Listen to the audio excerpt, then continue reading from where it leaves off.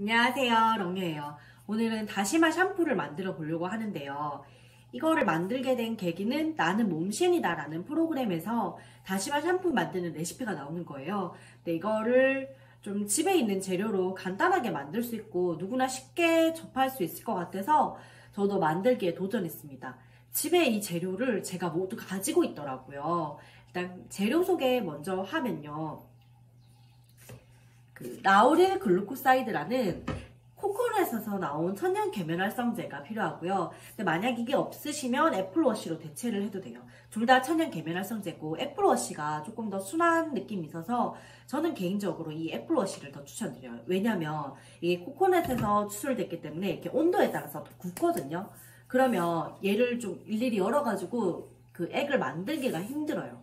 그래서 저는 오늘 일단 그 몸신이다에서 나온 레시피와는 조금 다른 레시피로 다시마 샴푸를 만들어 보도록 할게요. 이렇게 애플 계면 활성제가 필요하고 그리고 다시마 추출물이에요. 제가 일정량 이상의 다시마를 넣고 한 조각 정도 크게 큰 걸 넣고 우려낸 물입니다. 여기에 tea tree 오일을 넣어주고요. 약간 티트리같이 피부 진정하고 여드름에도 굉장히 좋은 그런 효과가 있고요. 여기에 식초. 식초는 구연산 역할을 대신한다고 생각하는데요.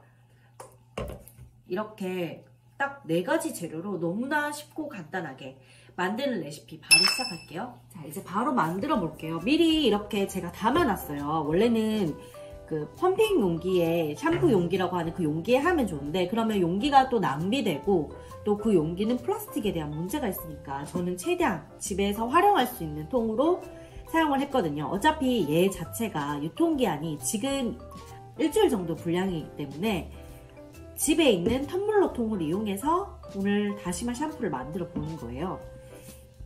비율은 애플워시랑 다시마 그 우린 물을 1대1 비율입니다. 다시마가 정말 좋은 게 어, 기본적으로 비타민C랑 비타민 E가 굉장히 풍부해서 피부 노화, 탄력, 각질 관리에 정말 좋다고 해요. 그리고 두피 염증에 달아오른 피부를 진정시키는 역할도 하고 피부나 두피의 효능과 유용성이 굉장히 좋다고도 이미 국내외 논문을 통해서도 알려진 게 바로 이 다시마라고 합니다. 그러면 이제 여기 다시마 우린물에다가 애플워시를 넣어줄 거예요. 이렇게 1대1로 넣으면 사용감이 좋고 기본적으로 계면 활성제가 하는 역할이 물과 기름의 경계면을 좀 잘 섞이게 해주는 역할을 해요. 그리고 거품을 내게 하는데 이게 합성 계면 활성제는 피부에도 안 좋을 뿐더러 석유에서 추출한 거라서 좀 위험 부담이 있지만 이런 apple wash나 아까 얘기했던 lauryl glucoside는 천연에서 우러나온 거라서 그나마 우리 피부에 덜 자극적입니다. 이렇게 1대1로 넣어준 자, 다시마 샴푸. 여기에 이제 뭐가 들어갈까요? 식초. 식초가 그 린스 대신에 사용을 많이 하잖아요. 근데 여기서는 그 머리카락을 부드럽게 해주거나 이럴 때 식초를 사용하지만 사실 지금 요거를 하는 이유는 어, 산도를 좀 중성화시켜서 얘를 pH를 좀 바꿔준다고 생각하면 돼요. 식초를 넣어서 얘가 시큼한 산이고 기본적으로 이런 apple wash라던가 lauryl glucoside는 염기성이기 때문에 산도를 조금 더 우리 피부와 가까운 pH로 맞추기 위해서 이 식초를 넣습니다. 자 얘는 숟가락 기준으로 5g 정도인데요. 저는 이 스푼 기준으로 두 번 넣도록 하겠습니다. 자 이렇게 두 번 넣을게요. 그런 다음에 마지막에 티트리 오일을 넣어주시면 됩니다. 집에 있던 티트리 오일이에요. 자, 티트리 오일은 20방울 넣어주세요.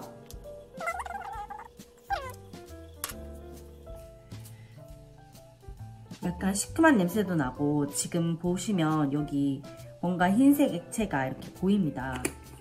잘 흔들어 줄게요. 여기에 지금 제가 보존, 보존제라던가 일반적으로 우리가 사용하는 그런 거는 아예 넣지 않았거든요. 이렇게 방부제라던가 보존제를 넣지 않았기 때문에 유통기한이 일주일밖에 안 돼요. 그래서 개인적으로 이제 여기에 유통기한을 조금 늘리시려면 헥산디올이라는 성분을 보존제를 넣어주시면 적어도 한 달 정도는 사용할 수 있지 않을까 생각이 듭니다. 지금 바로 머리를 한번 감아 볼게요.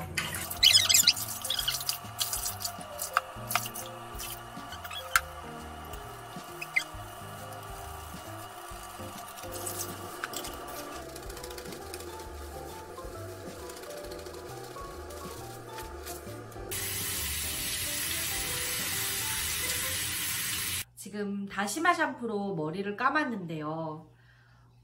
아까 거품은 굉장히 잘 나고 너무 좋았는데 어, 헹굴 때 굉장히 뻑뻑함이 비누 썼을 때보다 훨씬 더 많았어요.